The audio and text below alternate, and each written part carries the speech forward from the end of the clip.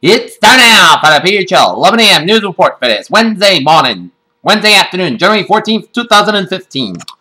Good morning and afternoon, everybody. I'm Peter Wiggins here. Your 11 a.m. news at 9 there, and our top story at 11 o'clock in the morning time here is in Beirut, where Al Qaeda's branch in Yemen expanded Wednesday on its claim of responsibility for last week's massacre at the satirical French newspaper Charlie Hebdo called it a blessed battle of Paris carried as revenge for publishing images. Air Asia plane carried 162 people disappeared from the radar on December 20, less than halfway into a two-hour flight from Subang, Indonesia to Singapore, as Air Asia fuselage found in Java Sea, officials said. Crash has been inverted aboard the U.S. section of the International Space Station, where a toxic leak broke out early Wednesday, forcing astronauts to evacuate and tech beverage with the Russians. In Boston, a U.S. judge on Wednesday rejected the latest plea by lawyers for accused Boston Marathon bomber Dzhokhar Tsarnaev to pause jury selection for his trial due to recent attacks in Paris. Stocks tumbled early trading Wednesday after weak reading on December retail sales at a profit miss from JP Morgan and added to investor worries here. As the Dow Jones Industrial Average 17.29.85 so far down 183.83, SP 500,006.26 down 16.77, and NASDAQ 4634.92 down 26.58.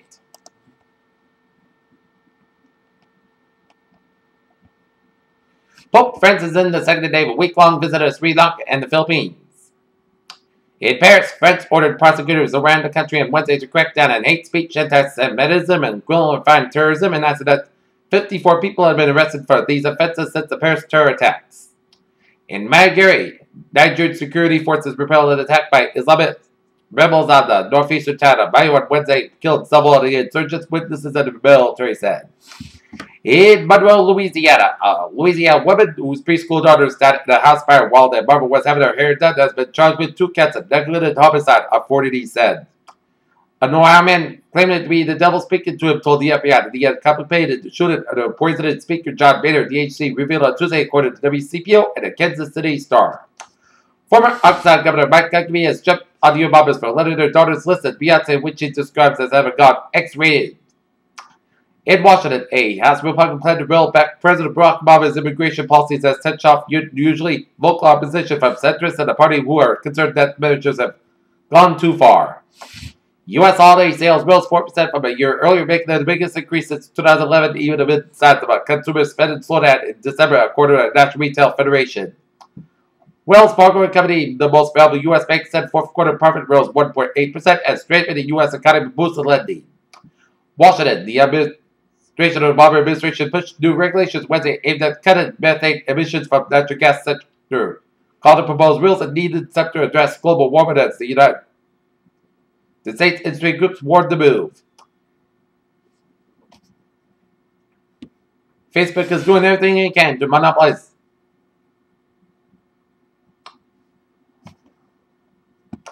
GoPro took a tumble on Wall Street yesterday amidst reports that Apple had secured a patent for portable digital camera and wristboard remote, but GoPro shouldn't panic just yet. Miley's Transformers made not do well the Oscars, but the Razzies love movies about the Earth-destroying contraptions. Hey, it's not easy to write three Avatar sequels at once. That's what director James Cameron says. The writer-director announced Wednesday that his upcoming, much-anticipated Avatar follow-ups have become such a complex writing job that he's pushing it. Actor Bradley Cooper arrived at the Washington premiere of the movie American Sniper at Burke Theater at the U.S. Navy Memorial in Washington on Tuesday as Sniper's widow struggled with having him portrayed in film. A species of carnivorous pitcher plant from Borneo lets a few ant scouts escape so that it can nab a bigger meal, says scientists. When it comes to determining the size of giant squid and other large sea animals, humans have a tendency to exaggerate, a new study suggests. More than 10% of the patients in the U.S. getting low-dose daily aspirin are put off a first heart attack or stroke are likely to have been recommended the drug improperly. Studies of bisphenol S the chemical compound sometimes used to replace bisphenol A in BPA-free plastic products found to disrupt not only the body's hormone system but the brain circuitry in developing animal embryos. In sports news, the Raiders on Wednesday expected a strike deal with Jack Del Rio to be their new head coach. It was a grueling two weeks of interviews after Woody Johnson had selected Todd Bowles on Tuesday night as his fifth coach in 15 years he's owned the Jets, and Mike Maccagnan in his brand new fifth general manager endorsed Bowles as well. Basketball star LeBron James returned to the Cleveland Cavaliers lineup on Tuesday after a two-week injury absence and he's already drawn attention if he was seen pushing head coach David Blatt during Tuesday's game. Ohio State took the national title and they witnessed the first ever college football playoff, it's time to look ahead to next season here. And tonight, the Boston Celtics will be at the Garden at 8 o'clock tonight, taking on the Atlanta Hawks, while the North Lancers hockey team will be at Foxborough Sports Center tonight, taking on Foxborough at 8.10 p.m. Peter Channel News oh Time, 11.05, 10 and a half for travel reporter, and one slow spot. Route 3 on the northbound side is backed up from 139 in Marshfield all the way down through Route 53 in Hanover. So expect a little delays around that side of Route 3 here in Marshfield and Hanover here. And we got 495 on the southbound side. It's backed up from Route 62 in Hudson down for Route 290 in Marlborough here.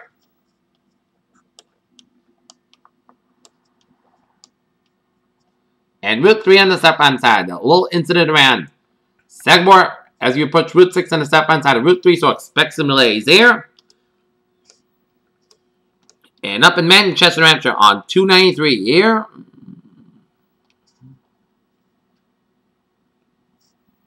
We got slow spot from exit 5 in Granite Street all the way down through Route 3 Queen City Avenue in Manchester, Hampshire. And that is because